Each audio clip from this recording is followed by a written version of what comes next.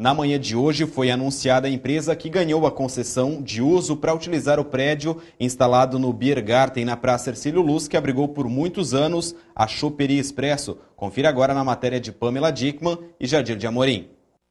A abertura dos envelopes ocorreu por volta das 9 horas da manhã na Prefeitura de Blumenau. O imóvel, de 1.400 metros quadrados, está fechado desde outubro do ano passado, quando a Expresso Choperia desistiu da concessão.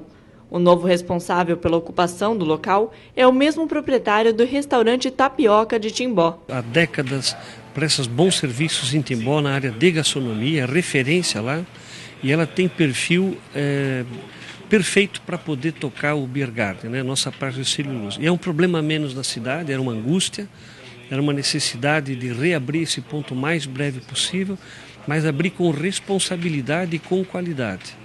Então, é, foi feito um, um edital mais moderno, podendo inclusive ele operar com outras empresas juntos, a exemplo de cafeterias e outros parceiros que ele pode agregar, que o modelo anterior não podia. Após a assinatura do contrato, a empresa vai ter 30 dias para apresentar o projeto de reforma do espaço e quatro meses para reabrir.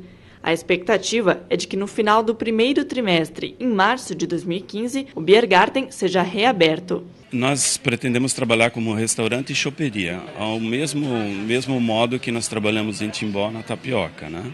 É, abriremos todos os dias para almoço e jantar e nós de segunda a sexta nós teremos no almoço, além do à la carte, teremos eh, um buffet executivo. No sábado, além do à la carte, teremos um buffet de feijoadas e no domingo um buffet típico.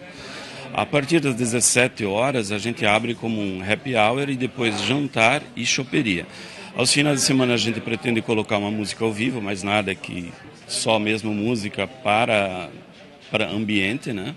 E uh, aos sábados e domingo a gente abre das 11 e aliás e feriados também a gente abre das 11 até a noite. Mantemos todo dia aberto, né?